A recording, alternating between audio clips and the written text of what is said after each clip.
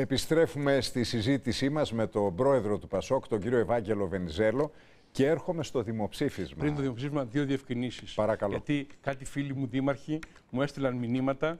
Όχι, αυτό που είπα είναι αντικειμενικό. όχι. Είναι, είναι από έρευνες ναι. δημοσιευμένες. Όμως να διευκρινίσω. Ευρωπαϊκές, Για μένα να διευκρινίσω. Και δεν αφορά μόνο την Ελλάδα αυτό Εντάξει, που είπα. Αφορά όλη την Ευρώπη. Να διευκρινίσω όμως ότι όπως παντού έχουμε τις καλές και κακές περιπτώσεις. Έχουμε εξαιρετικούς δημάρχους οι οποίοι κάνουν καταπληκτική δουλειά. Εννοείται. Και κάτι που ξέχασα να αναφέρω. Όμως, εάν δείτε τις έρευνες για τη διαφθορά στην Ευρώπη, είναι πρωταθλητής στη τοπική αυτοδιοίκησης. Το γιατί στην Ευρώπη βεβαίως. Λοιπόν, ακούστε και κάτι για τα δάνεια των κομμάτων. Εντάξει τα μεγάλα δάνεια της Νέας Δημοκρατίας και του Πασόκ, αλλά και ο μικρός ΣΥΡΙΖΑ του 4% είχε 6 δισεκατομμύρια δάνειο. 6 δις. Ναι. Τι εννοείται, δραχμές, δισεκατομμύρια δραχμές. Ευρώ, 6 δις ευρώ. Όχι, με 6 εκατομμύρια. 6 εκατομμύρια. Μισό λάθος. Ναι. Τρελάθηκα. Προφανώς. Ναι, 6 εκατομμύρια. Προφανώς. εκατομμύρια. Συγγνώμη. Ναι, ναι, ναι. Μα εδώ μιλάμε ούτω για εκατομμύρια. Ναι, ναι, για εκατομμύρια. Προφανώς. Γιατί και στη Νέα Δημοκρατία και το Προφανώς. Ναι, είναι μιλάμε για κάποια εκατο... ε, ναι, των 120 εκατομμυρίων. 120 εκατομμύρια. Προφανώς. Ε... Αλλιώς θα είχαμε λύσει το θέμα του δημοσίου χρέους.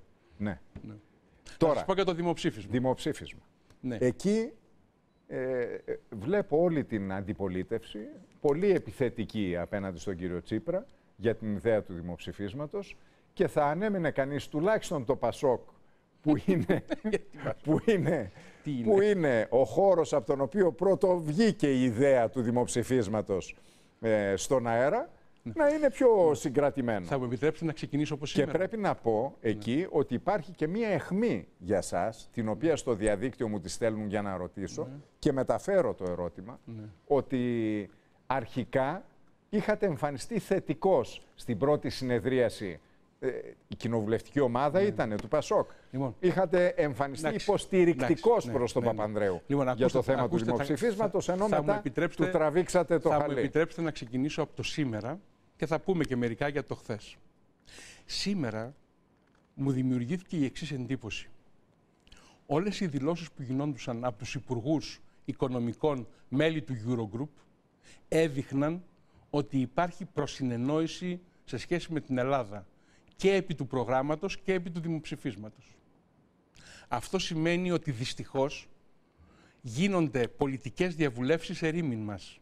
Και αυτό είναι μια πολιτική αποτυχία της διαπραγμάτευσης. Γι' αυτό και κράτησε πολύ λίγο το Eurogroup. Η συζήτηση για την Ελλάδα ήταν βραχυτάτη. 15-20 λεπτά πληροφορήθηκα εγώ από το ρεπορτάζ. Τώρα, φάνηκε επίσης ότι με προεξάρχοντα τον κύριο Σόιμπλε υπήρχε ενιαία γραμμή όλων για το δημοψήφισμα. Σόιμπλε, Σούλτς, Ντάιζεμπλου. Κάντε το, είπε. Οι πάντες. Όλοι λένε κάντε το. Που σημαίνει Μάλιστα, τι, ο κύριο Σόιμπλε, σημαίνει τι; το είπαμε και στην αρχή, ναι. είπε ότι ήταν θετικός ναι. και όταν ο Παπανδρέου το πρότεινε. Ναι. Και πρέπει να πω ότι, ότι εγώ νομίζω εκεί ότι η ηρωνία, έμεινα... νομίζω ότι είναι η ηρωνία εμφανής, έτσι. Πρόκειται για αυτό που λέμε στη λογοτεχνία και στο θέατρο, ηρωνία. Τρολάρι. Τρολάρι. Τρολάρι. Ναι. Λοιπόν, αυτό τι σημαίνει; Αυτό σημαίνει ότι αν η κυβέρνηση νόμιζε ότι επικαλούμενη το δημοψήφισμα ασκεί μια πολιτική πίεση έξω και μια πολιτική πίεση μέσα, στο εσωτερικό του ΣΥΡΙΖΑ δηλαδή, γιατί περί αυτού πρόκειται, γιατί η διαπραγμάτευση είναι διπλή. Διαπραγμάτευση με τους έξω και διαπραγμάτευση με τους μέσα, η οποία είναι, φαίνεται πολύ πιο δύσκολη η διαπραγμάτευση. Αν λοιπόν νόμιζε ότι πιέζει και εκβιάζει και απειλεί με το δημοψήφισμα, ήρθαν αυτοί και είπαν εντάξει κάντο. Αλλά για να πάρεις συμφωνία και για να πάρεις λεφτά, θα έχεις ξεμπερδέψει με το δημοψήφισμα. Αν νομίζεις ότι έχεις χρόνο και αν νομίζεις ότι δεν κινδυνεύεις κατά τη διάρκεια της προεκλογικής περίοδου να σου καταρρεύσουν οι τράπεζες και όλη σου η οικονομία, κάντο και όταν τελειώσεις και θες τα λεφτά, έλα να τα πάρεις. Άρα υπήρξε μια πολύ σημαντική αντιστροφή. Ξέρετε τι έγινε δηλαδή σήμερα; Έγινε με πολύ χαλαρό και ήπιο τρόπο ό,τι έγινε στις Κάνες. Στις Κάνε τι είπανε, αυτό εννοεί ο Σόιμπλε. Όταν λέει ο Σόιμπλε ότι είπα στον κύριο Παπανδρέου να το κάνει το δημοψήφισμα, εννοεί ότι το συμπέρασμα του δείπνου των κανόν, όπως το εκφώνησε ο κύριος Σαρκοζή και η κυρία Μέρκελ, ήταν κάντε το δημοψήφισμα. Να πάτε να κάνετε γρήγορα ένα δημοψήφισμα, αλλά ναι ή όχι. θα στο είχε γίνει αν μισό το λεπτό, μισό λεπτό, μισό λεπτό, θα σας πω. Αλλά ναι ή όχι στο ευρώ, διότι όπως και να το θέσω το ερώτημα στην πραγματικότητα έτσι θα εισπραχθεί από την κοινωνία και τις αγορές Και όταν πάρετε απόφαση ότι είστε στο ευρώ και θέλετε συμφωνία, ελάτε να την κάνουμε. Δεν μας είπαν να μην το κάνουμε. Μας είπαν το ίδιο. Εγώ ως Υπουργός Οικονομικών. Έχουμε διαβάσει περιγραφές ότι ο Σαρκοζή περίπου ανέβηκε πάνω στο τραπέζι. Αυτά είναι το ανεκδοτολογικό μέρος. Η ουσία Δεν ήταν. Είναι αλήθεια αυτά; αφήστε, σημασία έχει η, η ουσία. Μα μου Ήταν λέτε ότι δεν μας είπαν να μην το κάνουμε. Μα δεν μας Εμείς είπαν. έχουμε ακούσει ότι όχι μόνο μας είπαν όχι. να μην το κάνουμε, Όχι, κύριε αλλά Χατζηνικολάου. ότι ο, Σαρκα... ο Σαρκοζή ήταν εξαιρετικά επειδή, προσβλητικός επειδή ο κύριος απέναντι Παπανδρέου στον τότε εξήγηλε Πρωθυπουργό. δημοψήφισμα μετά την απόφαση του Ευρωπαϊκού Συμβουλίου για το δεύτερο πρόγραμμα. Επειδή δεν είχε ειδοποιηθεί και επειδή θεωρεί ότι, θε- θεωρούσε ότι υπάρχει τεράστια αναστάτωση. Το συμπέρασμα όμως ήταν, αν είναι να το κάνετε, κάντε το αμέσως και με ερώτημα ναι ή όχι στο ευρώ. Αυτό λένε και τώρα. Αν τόσο μυαλό έχετε στο κεφάλι σας και θέλετε να κάνετε δημοψήφισμα και να αμφισβητήσετε την ένταξή σας στο ευρώ και να δημιουργήσετε μεγάλη κρίση στην οικονομία, στις τράπεζες, στις εισαγωγές, στις εξαγωγές, τις επενδύσεις, κάντε το. Αυτό είπαν και τότε, αυτό είπαν και σήμερα. Και εγώ λοιπόν, ως Υπουργός Οικονομικών, γυρνώντας ξημερώματα από τις Κάνες, είπα στον κύριο Παπανδρέου, έχω υποχρέωση να προστατεύσω την ελληνική οικονομία και τις τράπεζες. Θα πω ότι δημοψήφισμα περί ευρώ ούτε πρόκειται να γίνει, ούτε θα γίνει ποτέ. Ο κύριος Παπανδρέου, το ίδιο Είχε πρωινό... προηγηθεί όμως μια δήλωση με την οποία τον στηρίζατε. Θα σας πω. Ε, Όταν μπαίνει στην κοινωνική ομάδα και λέει θα κάνω δημοψήφισμα, εγώ που έχω την ευθύνη της οικονομίας και των τραπεζών, τι θα πω; Ότι διαφωνώ και πάμε σε κυβερνητική κρίση; Του στέλνω email το ίδιο βράδυ και του λέω τι γίνεται; Μου λέει τώρα μήπως πρέπει να κάνουμε το ένα το άλλο και συνάγω από την αλληλογραφία ότι δεν έχει ενημερώσει κανέναν. Και μπαίνω στο νοσοκομείο. Και την άλλη μέρα το πρωί 7 ώρα Ελλάδος, 6 ώρα Γερμανίας, με παίρνει τηλέφωνο ο κύριος Σόιμπλε και μου λέει ποιον ειδοποιήσατε; Και στις 7 και 10 ο κύριος Ρεν και στις 7 και 11 ο κύριος Γιούγκερ. Και σηκώθηκα, όπως ξέρετε, άρρωστος και πήγα στις Κάνες. Έκανα λοιπόν τη δήλωση ότι δεν πρόκειται να γίνει δημοψήφισμα για το ευρώ. Δεν αμφισβητείται η ένταξή μας στην Ευρωζώνη. Την ίδια μέρα, λίγες ώρες αργότερα, αφού ο κύριος Παπανδρέου συμφώνησε με Σαμαρά και Καλατζαφέρη την συγκρότηση κυβέρνησης συνεργασίας, ήρθε στο Υπουργικό Συμβούλιο. Και λέει στο Υπουργικό Συμβούλιο, της 3ης Νοεμβρίου, λέει, βεβαίως, δεν θα μπορούσαμε ποτέ εμείς να βάλουμε ως θέμα, το είπε και ο Βαγγέλης Βενιζέλος νωρίτερα, στη δήλωσή μου δηλαδή, το θέμα της θέσης μας στο ευρώ. Είναι αυτονόητο το θέμα της συμμετοχής μας στο ευρώ. Νομίζω ότι θα ήταν μάλλον αστείο να το θέσουμε σε δημοψήφισμα. Συμφώνησε μαζί μου. Όλοι λοιπόν αυτοί, όχι οι γατούλιδες που λέτε εσείς στους φίλους σας, όλο αυτό το σκυλολόι Καταρχήν, των συκοφαντών να σταματήσει να διαβάσει τι είπε ο ίδιος ο κ. Παπανδρέου. Ήταν υποχρέωσή μου εθνική να μην αφήσω τη χώρα να καταρρεύσει. Και έχω πολλές φορές αναλάβει το κόστος για να υπάρχουμε σήμερα. Αλλά δεν θα επιτρέψω και στον κύριο Τσίπρα, με τον κύριο Καμένο και τον κύριο Βαρουφάκη να θέσουν σε κίνδυνο τις θυσίες του ελληνικού Γιατί λαού και τα θεωρείτε- επιτεύγματά του. Ένα λεπτό, κύριε Πού μας Πρόεδρε. πάνε; Γιατί θεωρείτε ότι έχουμε ένα καταλάβει τι δημοψήφισμα έχει σήμερα συμβεί θα 3,5 ήταν μήνες κίνδυνος. τώρα. Γιατί το θεωρείτε Διότι, κύριε αυτό; Χατζηνικολάου, Δηλαδή, γιατί ο- το να ερωτηθεί φέρνετε για τον κύριο παράδειγμα, Τσίπρα εδώ και σας λέει. Ακούστε τι σας λέει. γιατί για παράδειγμα το να τεθεί στο Ναι, ακούστε πολίτη γιατί. το ερώτημα Ακούστε γιατί. αν συμφωνεί ή διαφωνεί Ακούστε. με το περιεχόμενο μιας συμφωνίας. Ακούστε να σας πω. Γιατί είναι Ακούστε. κακό; Ξεκινάω από τον καταπληκτικό διάλογο, καταπληκτικό εκ μέρους σας, που είχατε με τον κύριο Τσίπρα, εδώ πριν από μερικές Δευτέρες. Που λέτε, γιατί δεν κάνεις εκλογές και κάνεις δημοψήφισμα, και απαντά, γιατί να κάνω εκλογές. Οι δημοσκοπήσεις μου δίνουν μεγαλύτερη πλειοψηφία από αυτή που πήρα. Άρα σας απαντά, επί τη βάση των δημοσκοπήσεων δεν έχω λόγο να κάνω εκλογές. Καλά, επί και οι τη βάση, μισό λεπτό, δημοσκοπήσεις λένε επί τη βάση των 70%. δημοσκοπήσεων έχει Ναι. λόγο να κάνει δημοψήφισμα; Οι δημοσκοπήσεις λένε άνω του 70% υπέρ του ευρώ. Άνω του 70% να κάνει συμφωνία. Άρα τι το θέλει το δημοψήφισμα αφού έχει δημοσκοπήσεις; Δεν θέλει τις εκλογές γιατί βασίζεται στις δημοσκοπήσεις, αλλά παίζει με το δημοψήφισμα. Ξέρετε τι σημαίνει προκήρυξη δημοψηφίσματος; Όλοι θα εκλάβουν ότι η Ελλάδα μπορεί να βγει από το σύστημα, από την Ευρωζώνη. Οι τράπεζες θα αναγκαστούν να αμυνθούν, δεν θα μείνει λέπη καταθέσεων, δεν υπάρχει επένδυση, δεν υπάρχει αισιοδοξία, δεν υπάρχει βεβαιότητα, δεν υπάρχει τίποτα. Δεν χρειάζεται να κάνουμε δημοψήφισμα. Θα έχουμε καταρρεύσει καθοδόν. Ύστερα τι δημοψήφισμα; Δημοψήφισμα ρήξης, δημοψήφισμα συμβιβασμού ή δημοψήφισμα ποντίου πιλάτου; Στο δημοψήφισμα τι θα πει ο κύριος Τσίπρας; Ότι προτείνει στον ελληνικό λαό να πει ναι σε μια συμφωνία ή όχι σε μια συμφωνία ή τίποτα. Δηλαδή είναι έτοιμος ως Πρωθυπουργός να εφαρμόσει και τη μία πολιτική και την άλλη πολιτική. Ουδέτερος. Και βλέπετε τους έξω να είναι έτοιμοι να συμφωνήσουν. Το ότι θα κάνει δημοψήφισμα δεν σημαίνει ότι δεν θα εισηγηθεί Όχι, στους πολίτες τη δική του θέση. Γιατί θέλει να ξεπεράσει το πόλεμο του κόμματός του. Πώς θα πάει χωρίς να πει πήγε, να... Όπως πήγε κάποτε η κυβέρνηση της Νέας Δημοκρατίας στο σχέδιο Ανάν, που ποτέ δεν είπε ποια είναι η θέση της. Θυμάστε να έχει πει τη Πώς θέση δεν της; το θυμόμαι. Να, υπάρχει το μοντέλο. Λοιπόν, ακούστε τώρα τι συμβαίνει. Πιστεύετε ότι οι Ευρωπαίοι και το Δούνου του θα συμφωνήσουν σε πρόγραμμα υπό την αίρεση να πει ναι σε δημοψήφισμα η Ελλάδα; Είπε ο κύριος Σόιμπλε σήμερα, κάντε το. Κάντε, αν είστε χαζοί, αυτό είπε. Αν δεν έχετε μυαλό στο κεφάλι σας, κάντε.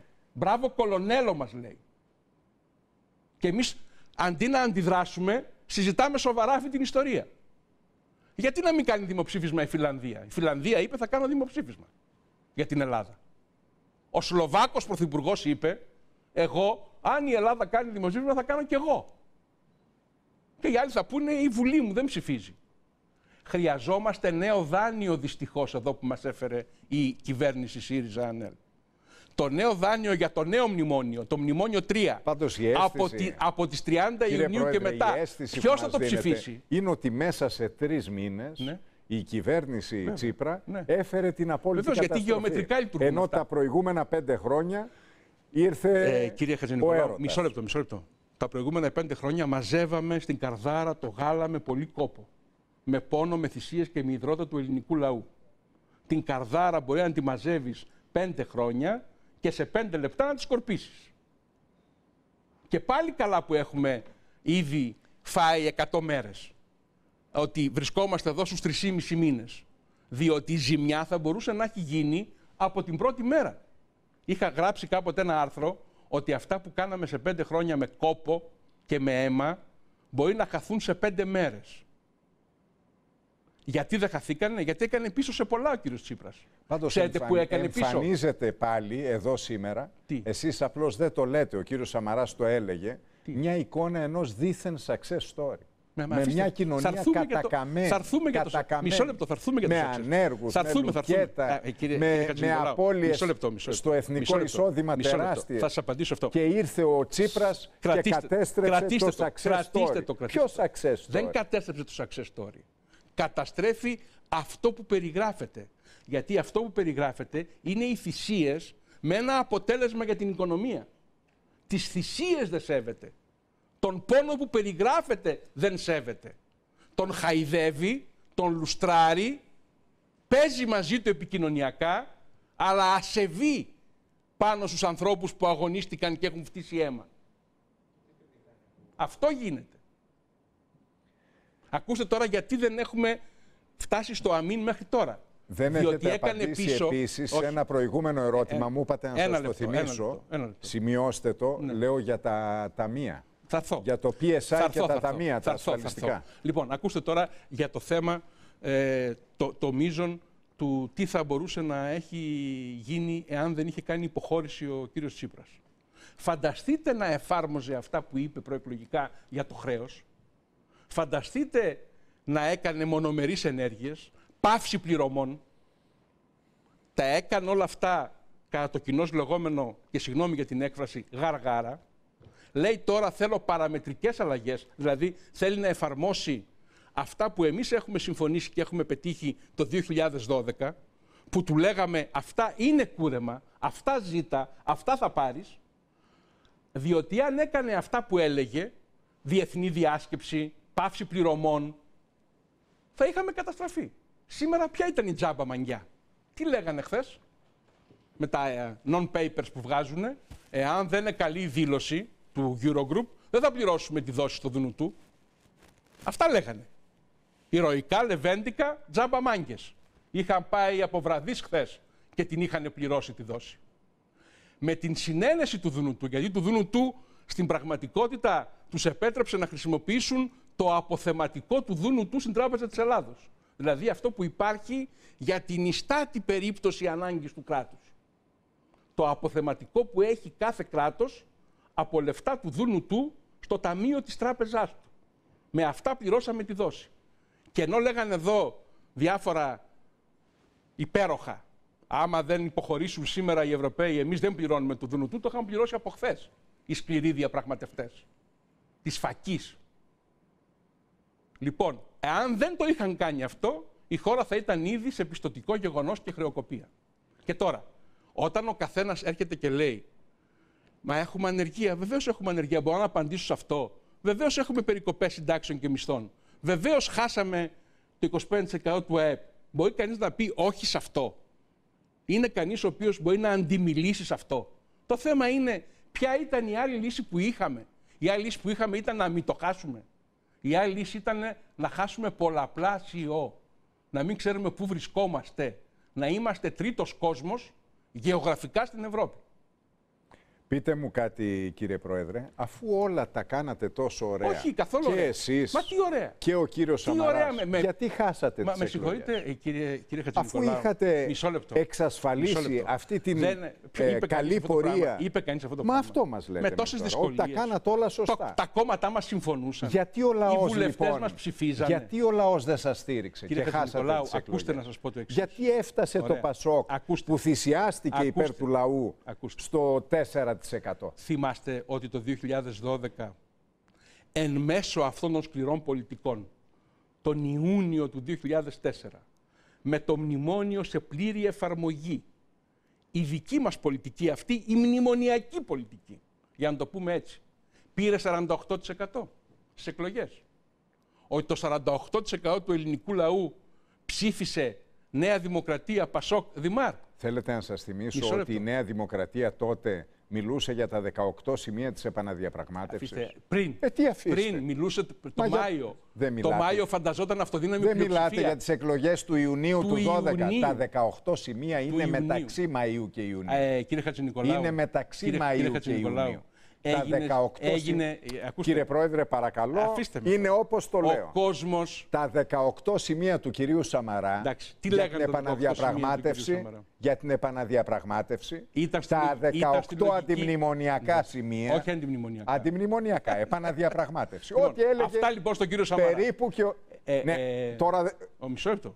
Μισό λεπτό. Πριν δεν το δεχόσασταν, τώρα μου λέτε στον κύριο Σαμαρά. Όχι, όχι, όχι, για τα 18 Αθρήσατε. για τα Μα 18 πώς τον κύριο. σημεία. Δεν Η δική- αθρήσατε Να απαντήσω. σε Να- να- να 48%. σας απαντήσω. Αθρήσατε Βεβαίως. σε 48%. Βεβαίως. Δεν αθρίζετε Διότι λοιπόν. η Νέα γιατί ο Δημοκρατία- κύριος Σαμαράς και η Νέα Δημοκρατία μέχρι τις εκλογές του 12 Ε, πώς είναι- έκαναν αντιμνημόνιο. Τότε για πείτε μου το εξής. Αυτή είναι η αλήθεια. Για πείτε μου το εξής.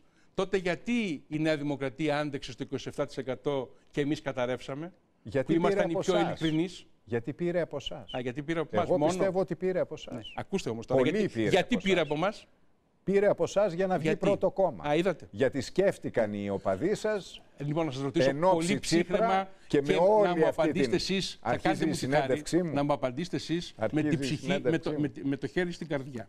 Με ειλικρίνεια, όπως και εγώ. Δεν υπήρχε μέτωπο και τομή τον Ιούνιο του 2012 μεταξύ ευρωπαϊκών δυνάμεων που αποδέχονται την δύσκολη πολιτική και αντιμνημονιακών δυνάμεων. υπήρχε, ναι, βεβαίως. Χωρίς λεπτομέρειες. Υπήρχε. Λοιπόν, το μέτωπο των ευρωπαϊκών Υπήρχε δυνάμεων γιατί που είχε ήταν υπέρ της προηγηθεί η προσαρμογής κυβέρνηση Παπαδήμου. πήρε 48%. Είχε προηγηθεί. Ο λαός η κυβέρνηση λοιπόν ψήφισε. Παπαδήμου. Τώρα ξέρετε γιατί ψήφισε ο λαός σε πολύ μεγάλο Γιατί; βαθμό. Πρώτον, γιατί κουράστηκε αφόρητα. Δεύτερο, γιατί πίστεψε Γιατί το ότι. τσακίσατε στους φόρους Ναι, ναι, καταρχήν. Εντάξει, θα δούμε με τους τον φόρους τώρα. έμφυα, Κρατήστε τους φόρους. με φόρους Κρατήστε τους αντισυνταγματικού. φόρους. Έχω Κρατήστε κρατούμενα τους φόρους. αρκετά από πριν. Κρατήστε τους φόρους. Έχω και τα αποθεματικά των ταμείων Ναι, θα τα δούμε, θα τα κρατούμενα. δούμε. Έχω και τον έμφυα. Όχι, κρατήστε τους φόρους, όχι για να σας απαντήσω. Κρατήστε και θα κρατηθούν. Κρατήστε λεφτά για να πληρώσετε. Αυτό Α, είναι. καλά, ναι, εντάξει. Διότι δεν πρόκειται να, Ε, να δεν- φύγει δεν τίποτα. διαφωνώ θα σε αυτό. μπουν φόροι. Δεν διαφωνώ Έτσι. σε αυτό. Όμως, Είπε ο Όμως- κύριος Τσίπρας εδώ πριν από 15 μέρες ότι ο έμφυα το 15 μάλλον μένει. ναι, αλλά κύριε Το Χατζηνικολάου, είπε. με συγχωρείτε. Ο κύριος Τσίπρας έχει συγκροτήσει μια πλειοψηφία 36% στις εκλογές, λέγοντας αλυσίδα ψεμάτων. Είπε θα εφαρμόσω το πρόγραμμα της Θεσσαλονίκης, δεν υπάρχει πρόγραμμα Θεσσαλονίκης. Είπε θα καταργήσω τον έμφυα. Αλλά και εσείς είχατε πει το 9 λεφτά υπάρχουν και η Νέα Δημοκρατία είπε τα 18 σημεία. Εντάξει. Συνηθισμένοι είμαστε. οι ψηφοφόροι είμαστε συνηθισμένοι. Τέλεια. Άρα πάμε εκεί. Έχουμε συνηθίσει. Άρα αυτό είναι να μας λέτε όλοι Άρα άλλα αυτό είναι το νέο ήθος η πρώτη και φορά να γίνονται άλλα μετά. και η τομή, η τομή στον ιστορικό χρόνο. Αυτό. Δηλαδή αυτό είναι πια η μοίρα της Ελλάδος. Εμείς μιλήσαμε με ειλικρίνεια και πήραμε 4,7%. Μας έχουν οθήσει στο περιθώριο, αλλά έχουμε το δικαίωμα στην αλήθεια. Και θα λέμε την αλήθεια. Όποιος έχει πει ψέματα και κέρδισε τις εκλογές με ψέματα, δεν έχει ηθική και νοημοποιητική βάση.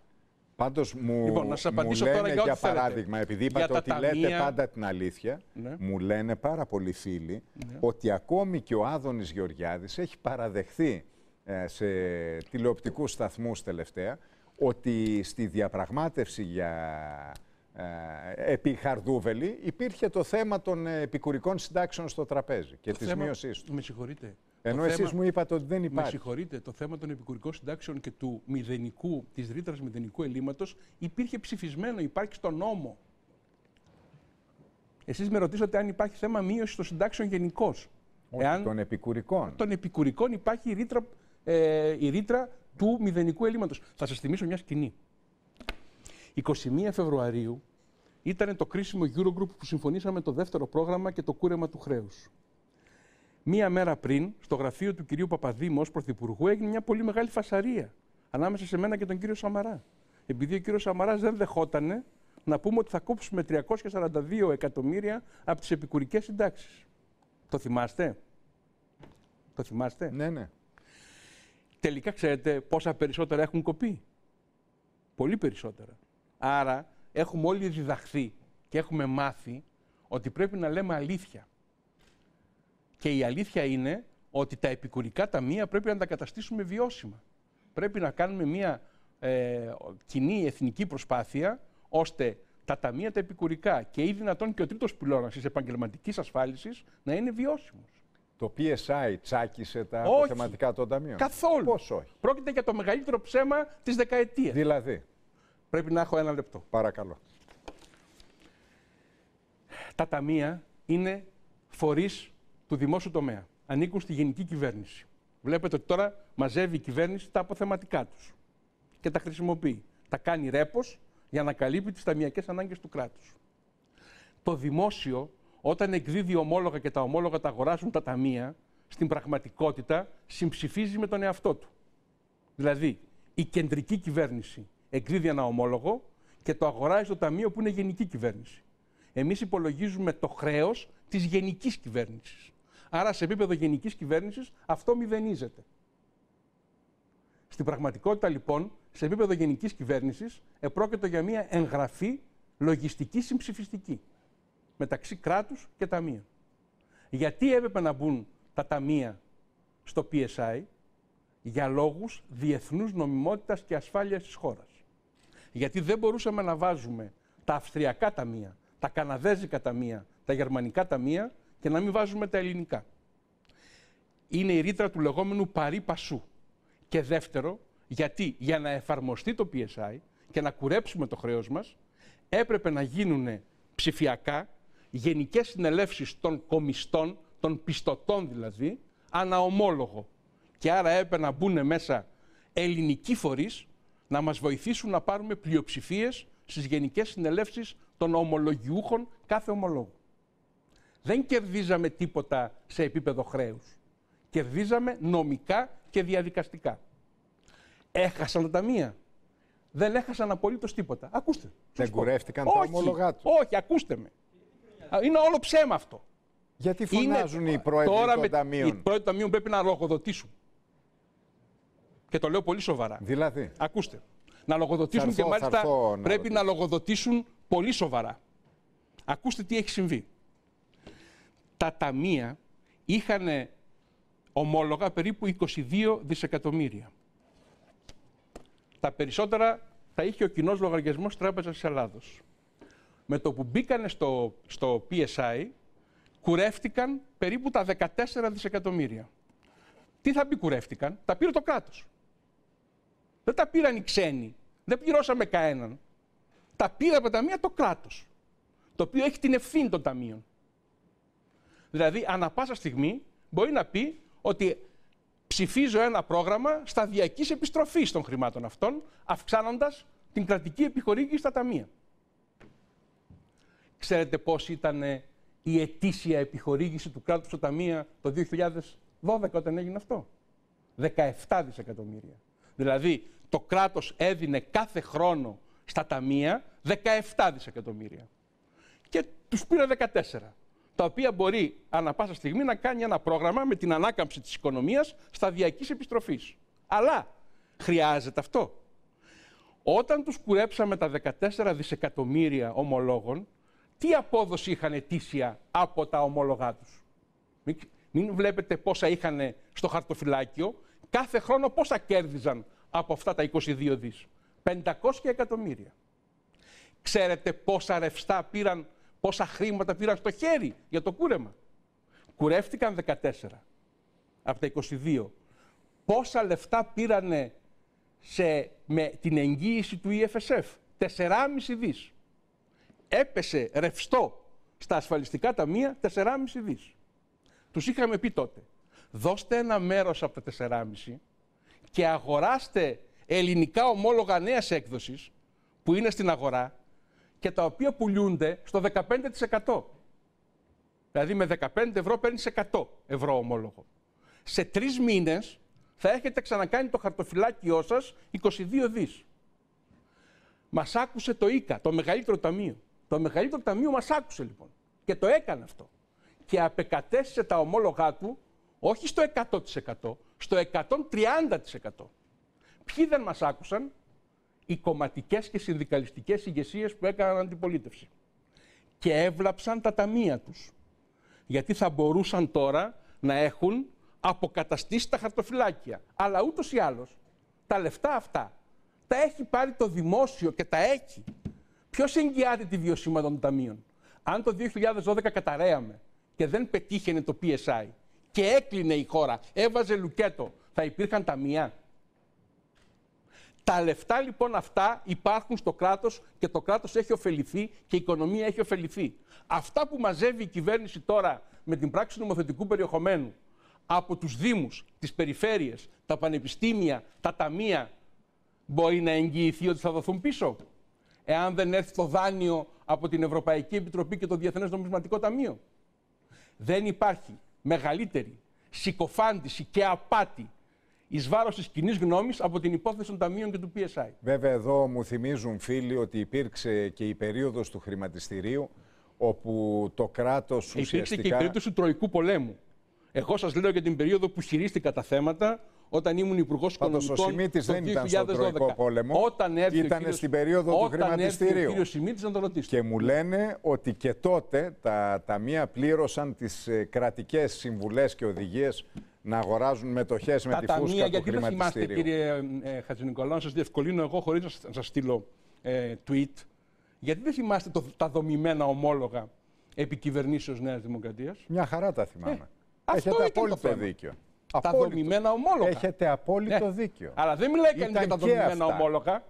Εγώ έχω δηλαδή, μιλήσει, έχω γράψει. Το PSI που έχει προσφέρει στη χώρα κούρεμα του χρέους σε καθαρή παρούσα εξία 80% του ΕΠ, δηλαδή 165 δισεκατομμύρια ευρώ κούρεμα, είναι το κακό, το οποίο έδωψε τα ταμεία. Και αυτοί που μαζεύουν τα αποθεματικά είναι οι μάγκες και οι ωραίοι. Λοιπόν, μπορούν να εγγυηθούν αυτά που εγγυηθήκαμε εμείς στα ταμεία. Να βγουν και να τα εγγυηθούν. Πείτε μου κάτι.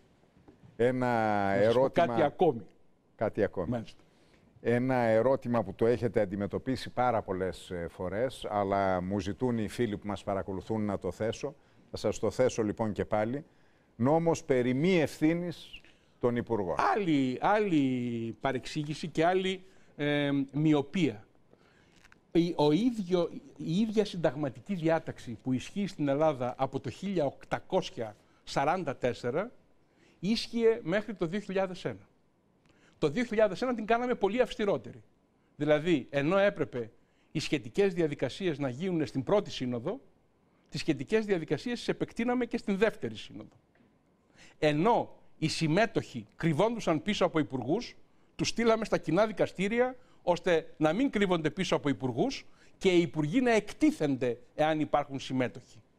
Και τρίτον, φτιάξαμε μια πολύ καλύτερη διαδικασία γιατί βγάλαμε τους κατηγόρους βουλευτές και κάναμε ένα πολύ καλύτερο δικαστήριο με τη συμμετοχή και του Συμβουλίου της Επικρατείας. Ποιοι ψηφίσανε τις διατάξεις αυτές στο νόμο περί υπουργών, όλοι. Και η Νέα Δημοκρατία και ο ενιαίος συνασπισμός. Το ξέρετε αυτό; Είχε ψηφίσει και ο συνασπισμός. Το νόμο περί υπουργών, που δεν τον εισηγήθηκα εγώ, τον εισηγήθηκε ο κύριος Πετσάλινικος ως υπουργός Δικαιοσύνης. Τον ψήφισαν όλα τα κόμματα και το ΚΚΕ Ήταν καλός και νόμος αυτός κατά την Ήταν ο νόμος που, που απέραιε από το Σύνταγμα. Αλλά έχετε δει τώρα ότι πέραν των υπουργών, οι οποίοι πρέπει να έχουν μια εγγύηση για να λαμβάνουν αποφάσεις, γιατί ο κάθε διαφωνών πολίτης μπορεί να μηνύει τον υπουργό.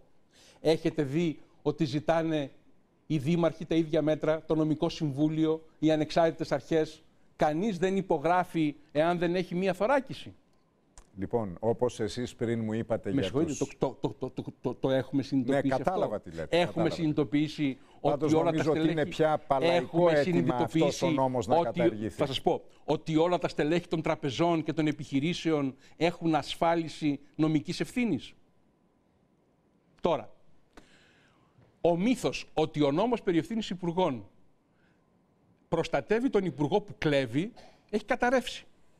Γιατί όλες αυτές οι περιπτώσεις, η περίπτωση του Τσοχατζόπουλου, η οποία είναι μια ακραία περίπτωση, αλλά και όλες οι άλλες περιπτώσεις, πώς είναι στη δικαιοσύνη εάν τους παρεμπόδιζε ο νόμος περί ευθύνης υπουργών; Είναι με βάση την ευρωπαϊκή όχι, όχι, δεν είναι με βάση ρύθμιση την για το μαύρο χρήμα. Όχι, είναι απόλυτο. Αν την απαγόρευε το Σύνταγμα, θα είχαν παραγραφεί διαφορετικά. Όχι, κύριε Χατζη Νικολάου. Θα μου επιτρέψετε. Ε, τώρα θα μου επιτρέψετε στο νομικής... θέμα Τσοχατζόπουλου. θα μου επιτρέψετε... Ξέρω τι τράβηξα Αφήστε με να το... επί δύο χρόνια κάνοντας αποκαλύψεις. Εσεί ξέρω, όλοι... ξέρω ότι με σέβεστε. Σας σέβομαι Επιστημονικά. Πάρα πολύ. Ακούστε να σας πω. σέβομαι να πάρα σας πω. πολύ. Είπε η νομολογία λοιπόν. Πάντως ότι... με το μαύρο χρήμα ναι, αλλά τσιμπήσανε γιατί, τον Τσοχατζόπουλο. Γιατί το μαύρο χρήμα δεν εμπίπτει στο νόμο περί υπουργών; Διότι είπε η νομολογία και σωστά ότι ο νόμος περί ευθύνης υπουργών καλύπτει τον υπουργό στις αρμοδιότητες του.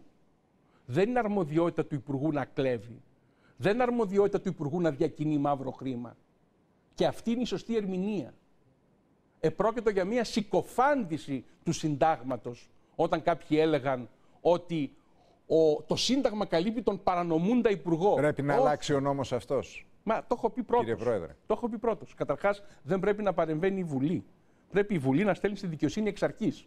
Αυτά τα περί προκαταρτικών επιτροπών κτλ. είναι κομικά τώρα. Μάλιστα.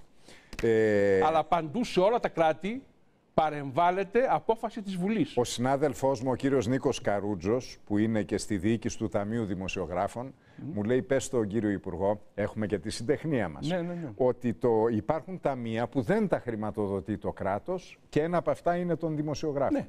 Εκεί το τα κούρεμα, λοιπόν, ταμεία δεν τα, χρησιμο... εκεί, δεν τα χρηματοδοτεί το, το κούρεμα του PSI έκανε ζημιά. Με συγχωρείτε. Μεγάλη. Δεν υπάρχει καμιά διαφορά ποιος χρηματοδοτεί. Όλα τα επικουρικά ταμεία δεν τα χρηματοδοτεί το κράτος.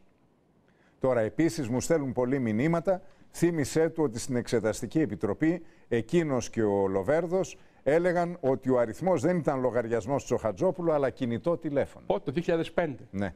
Το 2005 ξέρετε ποιο ήταν το θέμα της Εξεταστικής Επιτροπής; Το είχατε πει αυτό, ότι είναι ναι, κινητό ναι. τηλέφωνο αριθμός του το λογαριασμού Ποιο ήταν το θέμα; Άκη; Δεν υπήρχε λογαριασμός. Αν υπήρχε αριθμός λογαριασμού, τον είχαν ανοίξει. Μακάρι να υπήρχε. Ποιο ήταν το θέμα, ξέρετε; Το θέμα της Εξεταστικής Επιτροπής ήταν ότι κακώς πήραμε ρωσικά οπλικά συστήματα.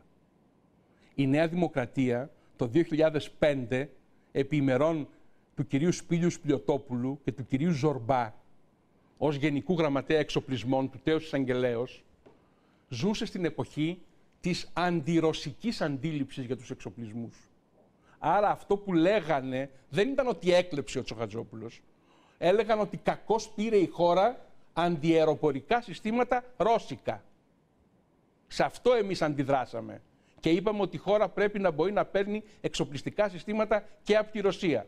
Μετά η κυβέρνηση Καραμαλή έγινε άκρος φιλορωσική, πήρανε και άλλους εξοπλισμούς και υπογράψαν και μεγάλη σύμβαση για τεθωρακισμένα οχήματα μάχης ρώσικα. Πάντως, αν θυμάμαι να καλά. Το ξαναπώ. Τότε... Να το ξαναπώ. Όχι, όχι, κατάλαβα πολύ καλά τι λέτε. Αλλά αν θυμάμαι καλά, υπήρξε λογαριασμός και αρνήθηκαν οι Ελβετοί να τον ανοίξουν. Α, Ζητήθηκε α, ωραία. εν τέλει. Βεβαίως. Έτσι θυμούμαι. Σε αυτό συμφωνήσαμε και εμείς και Έτσι δεν συμπράξαμε είναι. να σταλεί στην Ελβετία. Θέλετε να ρωτήσετε ποιοι δικηγόροι κάναν τη γνωμοδότηση για να μην ανοίξει ο λογαριασμός; Ποιοι; Πείτε. Θα μας. τους βρείτε στο κόμμα του ΣΥΡΙΖΑ.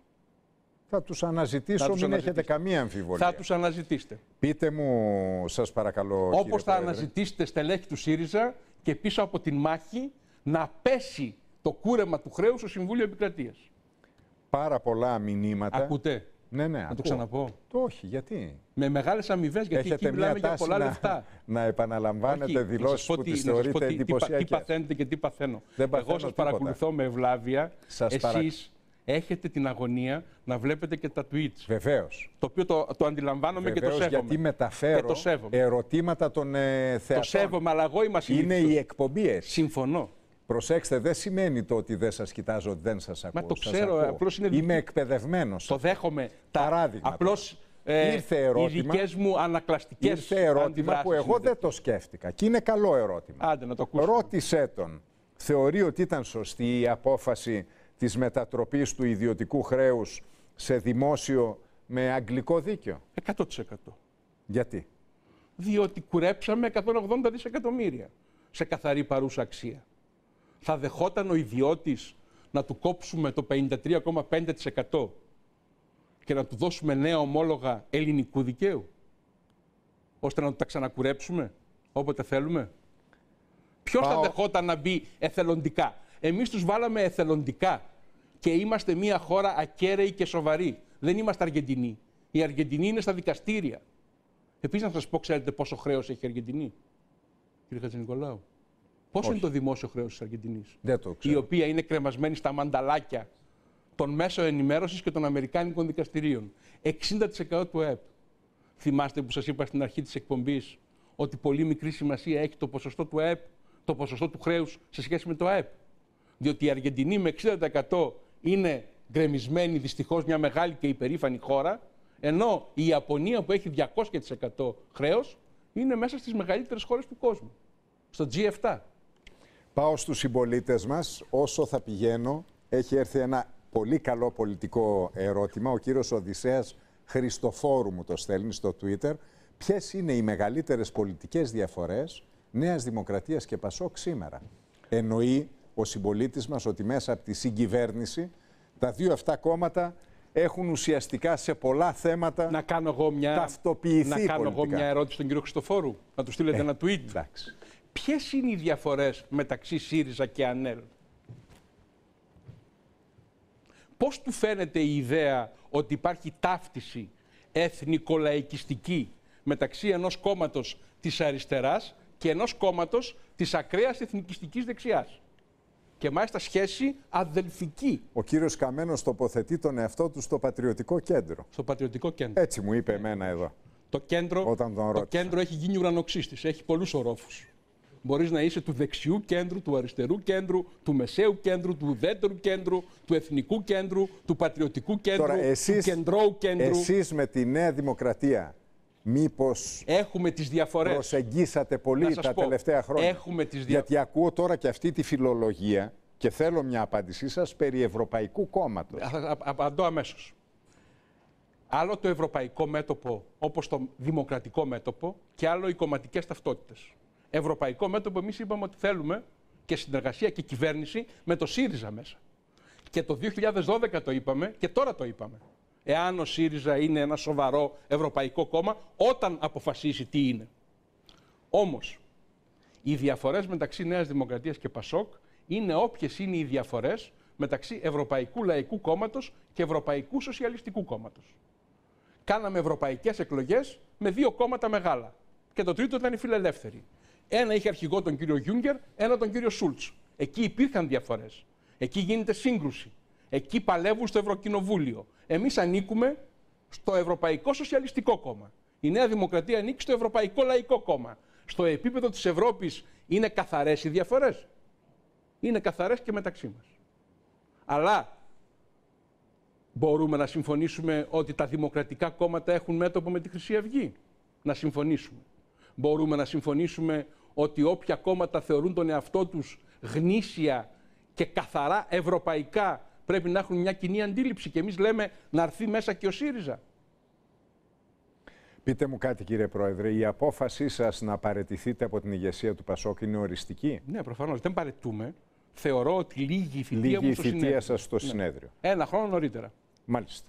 Και ακόμη και αν σας ζητηθεί, γιατί έχω ακούσει, χαμογελάτε, αλλά έχω ακούσει δηλώσεις Ναι. στελεχών, Ναι. Τα οποία λένε ότι θα ήταν χρήσιμο να μείνει. Κοιτάξτε, ε, να, μιλήσουμε, το λένε- να μιλήσουμε καθαρά. Ναι, το Θεωρώ λένε ότι με είναι μια χρήσιμο- αγωνία, Ναι. με μια αγωνία Ναι. ότι ο χώρος αυτός που έχει ταλαιπωρηθεί πολιτικά τα τελευταία χρόνια και έχει ε, συρρυκνωθεί, ότι μπορεί να εξαφανιστεί πλήρως αν η- την επόμενη μέρα ε, Καταρχάς, υπάρξει, εγώ υπάρξει μια απεφάσισα- μάχη εγώ εξουσίας απεφάσισα ότι πρέπει να φύγω, στο εσωτερικό όπως της. φύγανε οι αρχηγοί των κομμάτων στη Μεγάλη Βρετανία. Έτσι. Ναι. Απεφάσισα ότι πρέπει να φύγω, διότι ανεξαρτήτως του βαθμού προσωπικής ευθύνης που έχω, θα δούμε. Μπορεί να μην έχω, μπορεί να έχω και πολύ, αλλά ανεξαρτήτως αυτού πρέπει να δώσουμε την ευκαιρία στην παράταξη να ανανεωθεί. Να ξαναβρει τον εαυτό της, να πει νέα πράγματα με νέους ανθρώπους. Εγώ λοιπόν κάνω ό,τι κάνω για να βοηθήσω το χώρο μου και για να βοηθήσω την δημοκρατία να λειτουργεί αποτελεσματικά. Τώρα, ευχαριστώ όσους λένε καλά λόγια για μένα, όσους παρατηρούν με θετικό τρόπο τις παρεμβάσεις μου και τις ομιλίες μου στη Βουλή. Ξέρετε, με ενοχλεί όταν λένε «Α, τώρα ο Βενιζέλος τα λέει πολύ ωραία». Τα ίδια έλεγα πάντα. Και σημασία έχει τι κάνουμε. Ούτε ε, εγώ θέλω να είμαι ένας καλός ομιλητής που μιλάει όμορφα στη Βουλή, ούτε ένας καλός αναλυτής. Ε, έδωσα τη μάχη στον, στον πόλεμο της γενιάς μας. Θα μπορούσα να έχω μείνει απ' έξω, να έχω προστατεύσει τον εαυτό μου. Τα έχουμε πει άλλες φορές, δεν το έκανα. Θεώρησα ότι το καθήκον μου είναι να αναλάβω ευθύνες, να βοηθήσω στη μάχη. Λέτε για όχι το απ' έξω. Υπουργείο Οικονομικών. Υπουργείο σε Οικονομικών τα δύσκολη πάντα, τα περίοδο. πάντα, τα πάντα. Και η ηγεσία του Πασόκ. Διότι έχει, έχουμε φτάσει σε μια κομικοτραγική κατάσταση. Εγώ που μπήκα στο Πασόκ το 89 για να συμπαρασταθώ στον Ανδρέα Παπανδρέου όταν εγκαταλελειμμένος σερνότανε στο ειδικό δικαστήριο. Εγώ που δεν είχα καμιά ανάμειξη στη δεκαετία του 80, που προέρχομαι από το πανεπιστήμιο, από την κοινωνία, από τη δικηγορία, που έχω ένα σωρό άλλα ενδιαφέροντα και δεν είμαι ένας τέλεχος του εργαστηρίου ή του κομματικού σωλήνα και έχω μπει στο Πασόκ με καθυστέρηση είναι η αλήθεια και τιμώ όλους που είναι από τα μικρά τους χρόνια στο Πασόκ και έχουν δώσει τη ζωή τους στο Πασόκ. Εγώ έχω φτάσει να απολογούμε. Εσείς στα φοιτητικά χρόνια ήσασταν στην Ένωση Κέντρου, έτσι όχι, δεν όχι, είναι, ήμουν, όχι. ήμουν στο χώρο της κέντρου αριστεράς. Μάλιστα. Στο, στο δημοκρατικό αγώνα, δημοκρατική ενότητα. Μάλιστα. Αλλά δεν έχει σημασία αυτό. Σημασία έχει ότι έχω φτάσει να απολογούμε για το τι έγινε στο 80, τι έγινε ε, το 74, τι έγινε με τον Τσοχατζόπουλο, τι έγινε στην περίοδο όλων των διατελεσάντων στελεχών. Εντάξει, και αυτό δεν είναι ευχάριστο. Εγώ λοιπόν πράττω έτσι ώστε να βοηθήσω την παράταξη και η χώρα είναι ταγμένη να βοηθάει, συγγνώμη, η παράταξη είναι ταγμένη να βοηθάει τη χώρα, να βοηθήσει τη χώρα. Τι συνέδριο Δεν θα είναι αυτό; πρόκειται να κάνω αυτό που Τι έκαναν συνέδριο θα άλλοι, είναι; να πάω στο συνέδριο, να ενθαρρύνω, να με χειροκροτήσουν, να μου πούνε μήνε για να πω μένω. Δεν κάνω κόλπα με το συνέδριο. Ούτε μου λείπει κάτι. Τι Ε, επίσης συνέδριο νομίζουν- θα είναι αυτό, μου λένε, κύριε Πρόεδρε, η θα εξουσ- είναι ανοιχτό συνέδριο; Ανοιχτό, ανοιχτό, ανοιχτό, διαμπερές. Ρω- ρωτώ, αλλά, αλλά ρωτώ αν θα είναι ένα συνέδριο μέσα από το οποίο Ναι. μπορεί να επανενωθεί ή εν πάση περιπτώσει να επαναδιευρυνθεί ο, ο πολιτικός σας χώρος. να αν θα είναι διευρυνθεί, δηλαδή... να διευρυνθεί Ναι. όχι να καταβυθιστεί. Δηλαδή εννοώ, ε, όχι να βυθιστεί στον πυρήνα του, ηφε- του ηφαιστείου. Ε, να το πω καθαρά. Ε, απλοί άνθρωποι που ψήφισαν τον κύριο Παπανδρέου και το Κηδισό, Εσείς είχατε μια ακόμη και διάσπαση υποψήφοι, ακόμη και προεκλογικά. υποψήφοι, είναι ευπρόσδεκτοι. Ο ίδιος ο κύριος Παπανδρέου και μικρός αριθμός στελεχών του σκληρού πυρήνα που προσέβαλε το Πασόκ και ανέκοψε την πορεία του να είναι τρίτο κόμμα που θα ήταν τρίτο κόμμα, αυτοί καλύτερα να μας αφήσουν ήσυχους. Αυτοί οι λίγοι. Είμαστε ανοιχτοί όμως σε όλους τους άλλους, στους πολλούς και στους εκτός Πασόκ που ανήκουν στο χώρο της δημοκρατικής παράταξης, της ευρωπαϊκής σοσιαλδημοκρατίας. Αυτή, και επίσης πρέπει να σας πω, κύριε Χατζηνικολάου. Η, η κόντρα, να το πω έτσι, με τον κύριο Παπανδρέου δεν γεφυρώνεται με τίποτα. δεν πρόκειται κόντρα μαζί μου. Και να σας πω και κάτι. Δείτε τώρα την εικόνα. Εγώ έχω κάνει τρία χρόνια πρόεδρος του Πασόκ και ανέλαβα μία ευθύνη τα παπανδρεϊκά στελέχη σας κατηγορούν ότι εσείς τον ανατρέψατε. Ναι, καλά, εντάξει, τα, ξέρετε αυτά. Πώς, τα... Μισό λεπτό. Μισό λεπτό. Σας κατηγορούν ότι κάνατε ναι. εσωκομματικό αυτά, πραξικόπημα. Αυτά, αυτά. Λοιπόν, ακούστε τώρα. Προσωπικά φεύγω. Ο κ. Παπανδρέου μένει αρχηγός του Κιβισό. Ενεργός. Ποιοι το ρίξαν τον κύριο Παπανδρέου; Να ρωτήσετε τους βουλευτές του, τους φίλους του, τους συνεργάτες του να ρωτήσετε αυτούς που καταψήφισαν την κυβέρνησή του ενώ τους είχε αναδείξει σε κορυφαία στελέχη.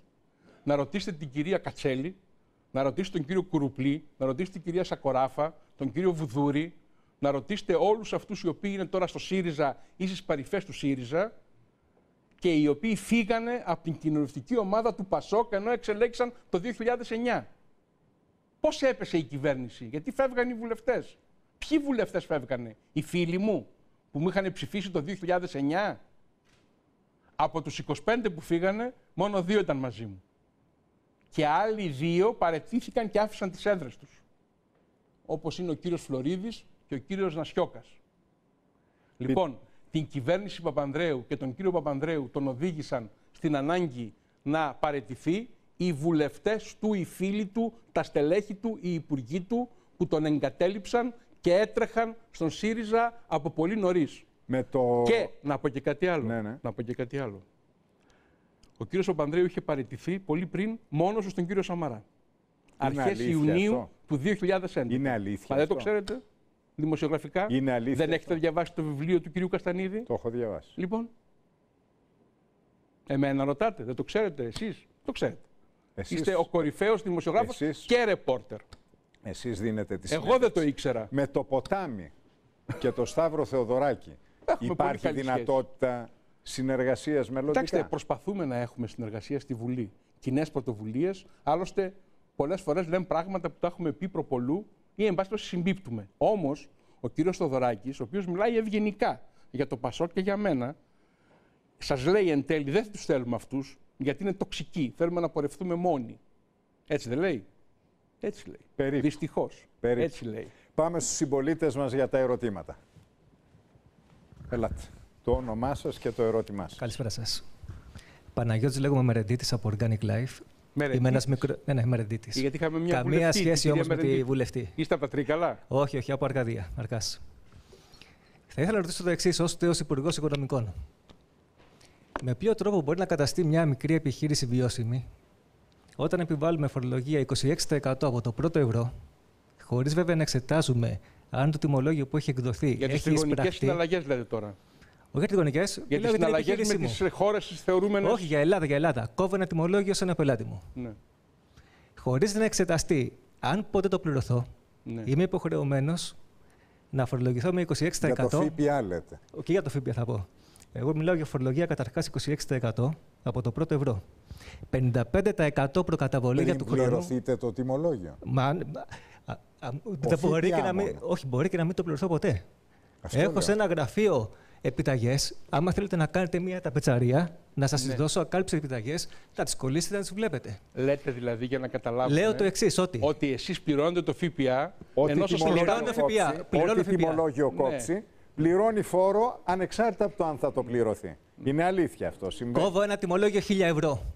Ναι, ναι. 230 ευρώ είναι ο ΦΠΑ. Ναι. Τέλος τριμήνου θα το καταβάλω. Έχω, δεν έχω εισπράξει. Ναι. Από τα 1000 ευρώ τώρα του τιμολογίου την καθαρή αξία, και μου κάνει εντύπωση που δεν το ξέρετε. Όχι, με συγχωρείτε.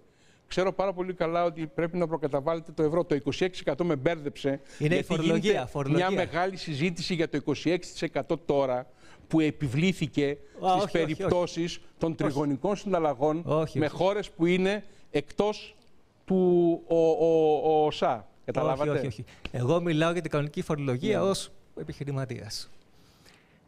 Τα 1000 ευρώ, παρόλο που πιθανόν να μην τα πληρωθώ ποτέ, είπαμε ακάλυψη επιταγές, ανοιχτά υπόλοιπα κλπ. κλπ. Τέλος του έτους θα κληθώ να πληρώσω το 26%. Ναι. 55% από αυτό το ποσό, προκαταβολή για του χρόνου, φτάσαμε στο 40%. Και άμα βάλουμε τώρα μέσα και τον ΦΠΑ 23%, φτάνουμε 63% επί του τιμολογίου, το οποίο ενδέχεται ποτέ να μην το πληρωθώ. Θέλω να μου πείτε τώρα, πώς είναι δυνατόν, αν λάβουμε υπόψη και τη μείωση της αγοραστικής δύναμης του καταναλωτή και όλα αυτά που γίνονται στην αγορά, τον ανταγωνισμό που έχω στην εταιρεία μου και ούτω καθεξής, πώς είναι δυνατόν εγώ να επιβιώσω; Ναι. Εσείς, μισό λεπτό. Επειδή αυτό είναι ένα γενικό θέμα που αφορά όλη τη φορολογική νομοθεσία, όλη τη φορολογία επιχειρήσεων, νομικών προσώπων, έτσι δεν είναι; Ωραία. ωραία. Ναι. Προφανώς λέτε ότι θα ήταν λογικό όταν δεν καταβάλλεται, όταν δεν εξοφλείται το τιμολόγιο, να μην καταβάλλεται ο ΦΠΑ. Έτσι; Πολύ Αυτό σωστά. Λέτε. Πολύ σωστά. Ναι. Αυτό... Αυτό έχει εξαγγελθεί, αλλά ναι. δεν έχει γίνει ποτέ. Και μπορεί να γίνει μόνο για εταιρείες Αυτό... γάμα κατηγορίας. Μισό Και δεν λέω μόνο για ΦΠΑ, ναι. κύριε Υπουργέ. Λέω και, και για φορολογία. Εντάξει. Την προκαταβολή μάλλον του φόρου εισοδήματος, λέτε. Όχι, και τη φορολογία την κανονική, το 26% όταν, συν το 55%. Την επόμενη. Για όλα λέω. Λοιπόν, εγώ συμφωνώ ότι θα έπρεπε να υπάρχει ένας μηχανισμός όταν υπάρχει ανεξόφλητο τιμολόγιο να μην πιέζεται ο εκδότης του τιμολογίου να πληρώσει το ΦΠΑ που δεν έχει πράξει. Γιατί δεν το κάνατε, όχι μόνο ΦΠΑ, λέω και φορολογία. Γιατί δεν το κάνατε; Διότι ως τώρα, στην πραγματικότητα, τα τελευταία πέντε χρόνια, δεν έχουμε μπορέσει να κάνουμε μια εθνική φορολογική νομοθεσία. Ωραία. Ζούμε υπό το άγχος της εκπλήρωσης ταμιακών στόχων για να μην καταρρεύσει η χώρα. Πάρα πολύ καλά. Δεν μπορέσαμε ποτέ με άνεση να κάνουμε μια φορολογική νομοθεσία η οποία να έχει αρχή, μέση και τέλος. Να ρωτήσω ένα τελευταίο. Να το αφορολόγητο που ήταν απόλυτη... ένα μαξιλαράκι. Μισό το αγαπητέ κύριε ναι, ναι. Μερεντήτη. Ναι, ναι, να απαντάμε με ειλικρίνεια. Εγώ ξεκίνησα μια μεγάλη προσπάθεια τον Ιούλιο του 2011 για τη φορολογική μετα... μεταρρύθμιση. Και κάναμε έναν τεράστιο διάλογο με τον κύριο Οικονόμου, τον Παντελή, που ήταν αναπληρωτής υπουργός για θέματα φορολογίας. Δεν μπορέσαμε να καταλήξουμε σε ένα εθνικό φορολογικό σύστημα. Γιατί ήμασταν πάντα υπό την ασφικτική πίεση της δημοσιονομικής προσαρμογής. Δεν μπορούσαμε να δοκιμάσουμε νέα μέτρα. Ένα φορολόγητο που είχαμε 12.000 ήταν ένα ε. μαξιλαράκι. Γιατί το καταργήσαμε. Και ένα τελευταίο αυτό και δίνω το μικρόφωνο. Πόσα. Ε; Αυτό που μου κάνει εντύπωση είναι το εξής. ακόμα έρχονται. Είναι το εξής. Όχι, όχι, τελευταίο. Ναι. Τελειώστε γιατί περιμένει πολλοί κόσμος. Ε, Εσείς οι πολιτικοί, πώς έχετε αφορολόγητο 70% και εμένα με το πρώτο ευρώ φορολογία 64%. Ευχαριστώ πολύ. Λοιπόν, για, το 12%, για τις 12.000 το φορολόγητο, επειδή έπρεπε να εκπληρώσουμε τις, τους στόχους τους δημοσιονομικούς, η σκέψη που επεκράτησε ήταν ότι η μεγάλη πλειοψηφία αυτών που καλυπτόντουσαν από το αφορολόγητο δυστυχώς ήταν ελεύθεροι επαγγελματίες, ε, επιτιδευματίες, οι οποίοι δεν δήλωναν με ακρίβεια τα στοιχεία τους. πρέπει να λοιπόν, καταλαβαίνετε ότι το πρόβλημα ήταν αυτό. Δεν υπήρχε περιθώριο χρονικό να βρεθούν άλλοι μηχανισμοί καταπολέμησης φοροδιαφυγής. Αν δείτε πώς κλιμακώνονται τα εισοδήματα, θα δείτε ότι ε, από τις 30.000 και πάνω μειώνεται δραματικά ο αριθμός των πολιτών που δηλώνουν εισόδημα. Μόνον όσοι είναι μισθωτοί και παίρνουν έναν μεγάλο μισθό. Όχι, όχι, σας παρακαλώ, όχι. Τώρα, όχι, έτσι. Πολιτικούς, όχι έτσι, δείτε πόσοι περιμένουν. Πολιτικούς, δεν είναι σωστό. Αν εννοείται, δεν είναι σωστό για τους συμπολίτε. Αν εννοείται, κύριε Μερεντήτη, ότι ένα μέρος της βουλευτικής αποζημίωσης θεωρείται ότι καλύπτει έξοδα λειτουργίας του πολιτικού γραφείου και πολιτικών δραστηριοτήτων και δεν εκλαμβάνεται ως εισόδημα Έχετε και, και δεν φορολογείται ως εισόδημα. Αυτό όμως. Το 50%. Αυτό του... το οποίο καθιερώθηκε από τον Κωνσταντίνο Καραμαλή το 1974 με τη σκέψη αυτή. Ναι, αλλά τώρα ότι ένα μέρος. κρίση. Ε, μισό, μισό, Έχει πληρώσει όλη η κοινωνία. Μα Πρέπει αυτά να εκλείψουν. Ξέρετε πόσο μειώθηκαν οι αποζημιώσεις; Κατά 45%. Άλλο μιλάω. Το, το, το, αυτό που θα την κ. Μενίτη είναι άλλο. Ότι ένα μέρος. Είναι αφορολόγητο. Θεωρείται ότι είναι κάλυψη εξόδων και όχι αμοιβή. Πρέπει να πάμε σε μια μικρή διακοπή. Επανέρχομαι με τους συμπολίτες μας για να θέσουν τα ερωτήματά τους. Μου στέλνετε πολλοί μηνύματα να θέσουμε και ερώτημα για τη λίστα Λαγκάρτ. Θα θέσουμε και ένα ερώτημα για τη λίστα Λαγκάρτ. Μικρή διακοπή, επανερχόμαστε.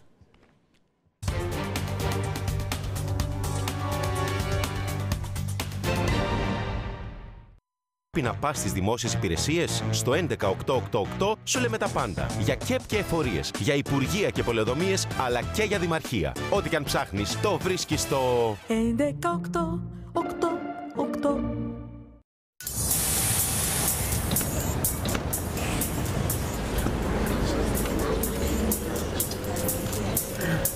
Έλα ρε, να κάτσεις στη θέση μου. Μην κουράζεσαι με τη μπακ, μπακ τσάντας σου.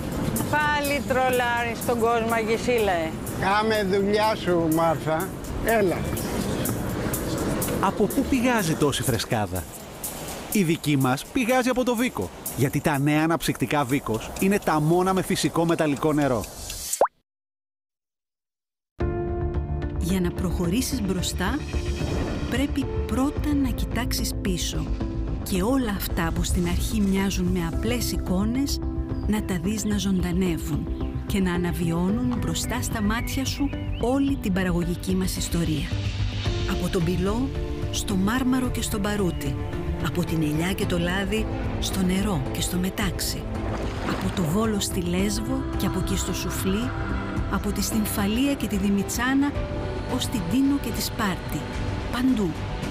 Ένα ταξίδι που θα σε κάνει να καταλάβεις ότι οι Έλληνες ήξεραν πάντα να αξιοποιούν τους φυσικούς πόρους, να δημιουργούν, να καινοτομούν και τελικά να προχωράνε μπροστά.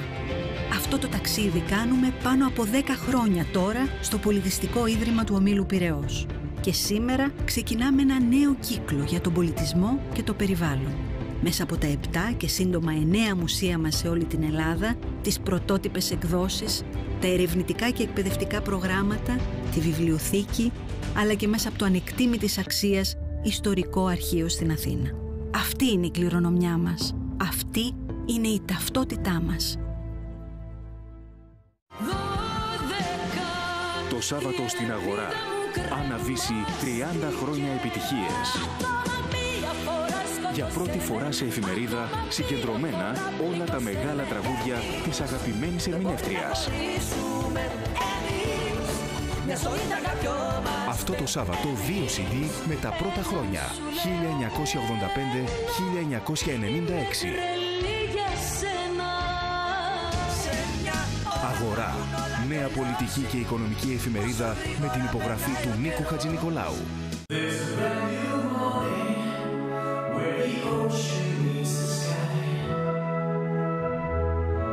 Μάρθα, Έλα, Αγισίλα, ε.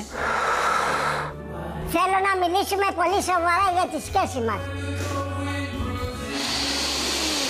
Μη με χωρίσεις, Αγισίλα, ε. Εγώ πότε θα γίνω μάνα; Λόλε.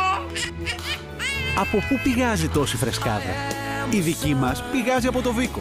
Γιατί τα νέα αναψυκτικά Βίκος είναι τα μόνα με φυσικό μεταλλικό νερό. Την Κυριακή με τη Real News. Στο νέο CD του Γιάννη Πλούταρχου με 13 υπέροχα τραγούδια. Μαζί. Σταμάτης Πανουδάκης, Ελευθερία Αρβανιτάκη, Κοντραμπάντο. Για πρώτη φορά σε εφημερίδα, ο δίσκος που άφησε εποχή.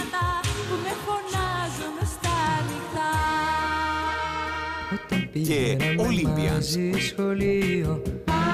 Όλες οι μεγάλες επιτυχίες τους σε ένα συλλεκτικό CD. Real News, η αληθινή εφημερίδα. Καλά δεν βλέπεις ότι έχει ανάψει το λαμπάκι; Ακόμη δεν έχεις βάλει βενζίνη, από χθες το λέω. Τι περιμένεις πια; Τώρα πού θα βρεις ανοιχτό βενζινάδικο; Βενζινάδικο. Ανοιχτά βενζινάδικα. Ανοιχτά φαρμακεία. Θέλω και ασπιρίνες για τον πονοκέφαλο. Πλοήγηση στο πλησιέστερο φαρμακείο. Εμείς θα πάμε ψηλά. Απλά της μιλάς και αυτή σε καταλαβαίνει. Επιλέξτε τώρα ένα MLS smartphone ή tablet με τη μοναδική Mic. MLS. Ό,τι λες γίνεται. Για να προχωρήσεις μπροστά, πρέπει πρώτα να κοιτάξεις πίσω και όλα αυτά που στην αρχή μοιάζουν με απλές εικόνες να τα δεις να ζωντανεύουν και να αναβιώνουν μπροστά στα μάτια σου όλη την παραγωγική μας ιστορία. Από τον πυλό στο μάρμαρο και στο μπαρούτι, από την ελιά και το λάδι στο νερό και στο μετάξι, από Από το Βόλο στη Λέσβο και από εκεί στο Σουφλί, από τη Στυμφαλία και τη Δημητσάνα ως την Τίνο και τη Σπάρτη. Παντού. Ένα ταξίδι που θα σε κάνει να καταλάβεις ότι οι Έλληνες ήξεραν πάντα να αξιοποιούν τους φυσικούς πόρους, να δημιουργούν, να καινοτομούν και τελικά να προχωράνε μπροστά. Αυτό το ταξίδι κάνουμε πάνω από 10 χρόνια τώρα στο Πολιτιστικό Ίδρυμα του Ομίλου Πυραιός. Και σήμερα ξεκινάμε ένα νέο κύκλο για τον πολιτισμό και το περιβάλλον. Μέσα από τα 7 και σύντομα 9 μουσεία μας σε όλη την Ελλάδα, τις πρωτότυπες εκδόσεις, τα ερευνητικά και εκπαιδευτικά προγράμματα, τη βιβλιοθήκη, αλλά και μέσα από το ανεκτήμητης αξίας ιστορικό αρχείο στην Αθήνα. Αυτή είναι η κληρονομιά μας. Αυτή είναι η ταυτότητά μας. Δώσε μπάλα! Εντεκά. Οκτώ. Οκτώ. Οκτώ. Για θέατρα, κινηματογράφους, συναυλίες και κάθε εκδήλωση που συμβαίνει στην πόλη. Ό,τι και αν ψάχνεις, το βρίσκεις στο. 11, 8, 8,